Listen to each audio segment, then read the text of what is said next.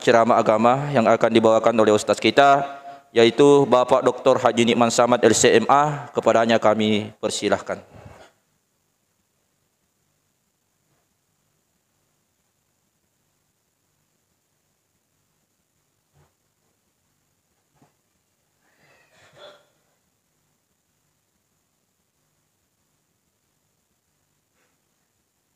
Bismillahirrahmanirrahim.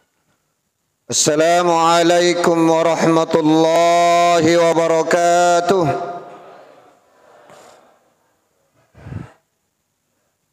الحمد لله رب العالمين.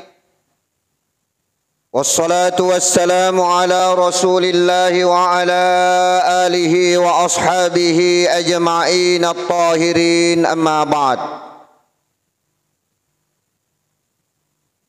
Tak henti-hentinya kita mengucapkan kesyukuran kita kepada Allah Subhanahu wa taala dengan kalimat Alhamdulillahi rabbil alamin. Salawat dan salam kepada junjungan Nabi kita Muhammad sallallahu alaihi wasallam yang mudah-mudahan dengan salawat yang senantiasa kita kirimkan kepada beliau insyaallah termasuklah kita golongan orang yang akan mendapatkan syafaat beliau insyaallah. Bapak Ibu hadirin hadirah yang insyaallah dirahmati Allah Subhanahu wa taala. Insyaallah malam ini saya mengambil satu kutipan dari Imam Ali radhiyallahu an di mana beliau mengatakan ada empat hal kata beliau ada empat hal yang sangat sulit dilakukan oleh seseorang. Tetapi jika yang empat hal ini kata beliau mereka bisa tahlukkan hal yang sulit yang empat ini. Maka niscaya keimanannya kepada Allah Subhanahu wa taala adalah keimanan yang sudah luar biasa. Yang paling pertama kata beliau al-afu indal ghadab. Yang sulit ditahlukkan seseorang adalah al-afwu indal ghadab. Bisanya seseorang untuk memaafkan orang lain ketika dia dalam kondisi marah. Dalam kondisi emosi yang masih memuncak. Coba kita dekat-dekati Pak. Kalau ada orang marah, tiba-tiba langsung kita minta, saya minta maaf. Tapi ketika ada orang yang bisa memaafkan dalam kondisi itu maka kata Imam Ali radhiyallahu an keimanannya sudah betul-betul istimewa kepada Allah Subhanahu wa taala. Kenapa? Karena di kondisi emosilah itu. Ketika emosi kita memuncak, kita ketika marah kita memuncak, Seolah-olah penglihatan kita hitam gelap di depan kita. Datang seseorang minta maaf kepada kita. Tetapi dengan hati yang ikhlas memaafkan. Maka sesungguhnya itulah hal yang sulit menurut Imam Ali yang sulit ditahlukkan oleh seseorang. Tetapi bernilai besar pahalanya jika kita tahlukkan hal itu.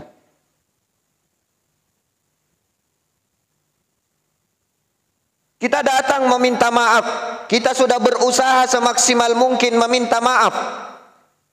Adapun setelah itu mau dimaafkan atau tidak maka itu sudah merupakan lagi tanggung jawab kita. Kalau misalnya orangnya mengatakan iya saya maafkan dengan syarat misalnya pernah kita ambil mangganya satu biji tanpa izin. Ganti manggaku yang kemarin. Maka boleh dengan syarat itu. Selama syarat itu tidak hal-hal yang dilarang oleh Allah Subhanahu wa taala, maka kita yang meminta maaf jika memang ada sesuatu yang bersangkutan dengan permintaan maaf kita diberikan syarat oleh pemberi maaf maka lakukanlah. Apa pun syaratnya, saya akan lakukan jika engkau memberi maaf kepadaku. Tetapi dengan syarat, jangan sampai syarat itu bertentangan dengan apa yang Allah perintahkan, bertentangan dengan apa yang Allah larang. Berbagai macam cara kita termasuk di dalam hadis yang pernah saya sampaikan. Al-ghadab minasyaitan. Ketahuilah sabda Rasulullah, ghadab marah itu dari syaitan. Wasyaitanu khuliqa min nar. Sementara syaitan kita ketahui diciptakan oleh Allah dari api. Bagaimana sifatnya api? Panas. Wa inna ma tutfi'ul nar bil ma' dan sesungguhnya api itu akan padam dengan air. Maka solusi yang pertama ketika kita marah, apa solusinya? Wudu. Wa idza ghadaba ahadukum sabda Rasulullah. Maka ketika ada di dalam hati kita rasa jengkel kepada siapa pun, ada emosi di dalam hati kita, solusi yang pertama adalah sentuhlah air dengan berwudu sesuai dengan apa yang dianjurkan Rasulullah. Yang kedua, salawat kepada Rasulullah pereda emosi sesuai dengan fakta di Arab. Dulu waktu saya masih di Mesir, orang Arab kan kuat bertengkar mulut. Kuat bertengkar mulut. Berdebat mulut Mobilnya mungkin bergesekan sedikit sampai macet panjang cuma bertengkar mulut. Tapi kalau seseorang sudah datang dengan melerai dengan mengatakan sallu ala nabi, kedua-duanya langsung Allahumma salli ala Muhammad. Selesai saling berpelukan. Bisa kita praktekkan coba di sini. Maaf, maaf. Kalau saya di Makassar kira-kira ada dulu bahasanya ini. Kalau ada katanya yang bertengkar di Makassar bilang, Sallu ala Nabi. Apa dia bilang? Hah, tenasi salukang. Padahal salawat kepada Rasulullah sallallahu alaihi wasallam juga termasuk obat untuk meredamkan emosi kita, meredamkan amarah kita. Zikir kepada Allah dengan berwudu, dengan wudu, dengan bersalawat kepada Rasulullah itu meredamkan amarah kita. Maka yang paling pertama yang sulit kita tahlukkan memaafkan orang lain dalam kondisi ketika kita marah. Ustaz, bagaimana jika saya sudah maksimal minta maaf akan tetapi tidak dimaafkan? Maka itu urusan orang yang dimintai maaf. Apakah nanti dia akan menyesal ketika Allah nanti di syurga ataupun di hari kiamat nanti Allah perlihatkan. Itu ada istana di dalam syurga. Ya Allah, itu istananya siapa? Bisakah dibeli dengan harga berapa? Apa firman Allah? Itu istana orang-orang yang khusus bisa memaafkan orang lain. Apakah kita akan merugi dengan istana yang Allah siapkan dengan maaf yang kita berikan kepada orang lain? Yang kita ikhlaskan kepada orang lain? Sementara Allah sudah siapkan istana di dalam surga bagi khusus orang-orang yang bisa memaafkan kesalahan daripada orang lain. Bagaimanapun beratnya, bagaimanapun emosinya. Kemudian yang kedua yang sulit ditahlukkan kata Imam Ali al-judu fil usr. Dermawan ketika dalam kondisi yang sulit. Ah, betul-betul ini. Kita dermawan biasanya ketika kita masih punya sesuatu yang bisa kita impakkan, bisa kita sedekahkan, insya Allah jika orang-orang beriman sangat mudah mengeluarkan itu, tetapi ada yang lebih sulit kata Imam Ali, dia dermawan ketika dalam kondisi yang sulit.